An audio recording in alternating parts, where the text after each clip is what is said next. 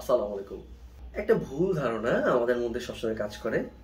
যখন আমরা রোগীদেরকে বলি যে আপনারা অস্টিওআথরাইটিসের পেশেন্ট অথবা আপনাদের হাড্ডিতে কিছুটা ডিজেনারেটিভ চেঞ্জ আসছে, অথবা কিছুটা চেঞ্জ হয়েছে হাড্ডি, অথবা অস্টিওপোরোটিক হাড্ডি বা আপনার হাড্ডিটা নরম হয়ে যাচ্ছে দিন দিন, এরকম কোনো ডিজিজে যখন ভোগেন, আমরা যখন রোগীকে কাউন্সিলিং করি, তখন রোগীরা একটা মিসকনসেপশন নিয়ে যায় আসলে আমাদের কাছ থেকে। সেটা হয়তো বা অনেক সময় আমাদের ক্লিয়ার করা হয় না বা সব রোগীকে বুঝিয়ে বলা হয় না। সেই জিনিসটা নিয়ে আজকে কথা বলব। এই মিসকনসেপশনটা আসলে কি? আপনি যদি অস্টিও আর্থ্রাইটিসে ভুগে থাকেন, অথবা কোনো ডিজেনারেটিভ চেঞ্জ স্পন্ডোলোসিস অথবা অস্টিওপোরোসিস অর্থাৎ হাড়ের ডেন্সিটি যদি আপনার কমে থাকে, অথবা হাড় রিলেটেড হাড্ডি রিলেটেড কোনো আপনি যদি কষ্টে ভুগে থাকেন, তখন যখন আপনাকে পেশেন্টে ডক্টর যখন এক্স রে করে আপনাকে জানাবে আপনার এই সমস্যা, তখন কিন্তু একটা রুগীর একটা ঘাবড়ে যায় এবং ধরেই নেয় যে আমার হাড্ডিটা নরম, আমার হাড্ডিটা পাতলা, আমার হাড্ডিটা মজবুত কম সো এই হাড্ডি দিয়ে হাঁটা চলা বেশি করা যাবে না, বেশি মুভমেন্ট করা যাবে না, এই হাড্ডিকে যত রেস্টে রাখতে পারব, তত হাড্ডি ভালো থাকবে। এই কনসেপশনটা টোটালি রং আপনি অস্টিও আর্থ্রাইটিস বলেন অস্টিওপোরোসিস বলেন যে কোনো হাড্ডির রোগ বলেন আপনি যখন অনেক ব্যথায় থাকবেন, অনেক পেইনে থাকবেন, অনেক কষ্টে থাকবেন, তখন কিছুদিনের জন্য হয়তো বা সপ্তাহখানেক অথবা এক দু মাস জন্য আপনি রেস্টে থাকতে পারেন বা হাঁটাচলাটা কমিয়ে দিতে পারেন।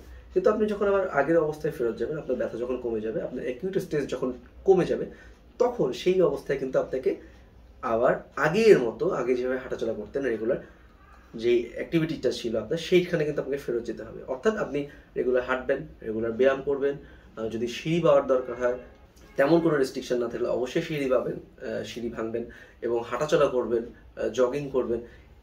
এটা আপনার এজ যতই হয়ে থাকুক না কেন, আপনি পঞ্চাশ, ষাট ইট ডাজেন্ট ম্যাটার আপনি যদি ফিজিক্যালি ফিট থাকেন, আপনি যদি শারীরিকভাবে ফিট থাকেন, আপনি যদি অন্য কোনো সমস্যা না থাকে, আপনি কিন্তু হাঁটাচলা করার মাধ্যমে আপনার হাড্ডিকে, এই নরম হাড্ডিকে আপনি আরও মজবুত করে তুলবেন। যেটা আমাদের কনসেপ্ট থাকে যে, রুগীরা মনে করে যে, নরম হাড্ডি আরও নরম হয়ে যাবে, ভেঙে যেতে পারে। না।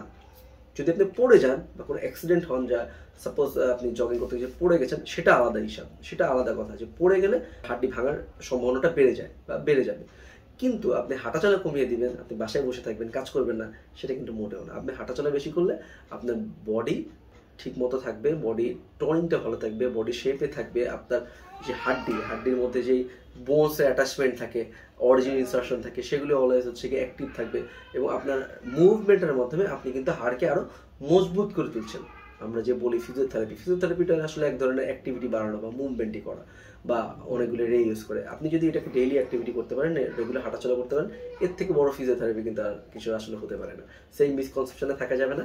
আপনি ফিজিক্যালি ফিট থাকলে আপনার ব্যথা কমে গেলে অবশ্যই আপনি স্বাভাবিক জীবনে ফেরত যাবেন এবং রেগুলার হাঁটাচলা করবেন এবং স্বাভাবিক কাজকর্ম করবেন। আমরা যদি বলে থাকি যে হাই কোমর ব্যবহার করতে বসে নামাজ পড়তে, সেটা কিন্তু সাময়িক সময়ের জন্য। এটা অবশ্যই আপনাদেরকে বুঝতে হবে সাময়িক সময়।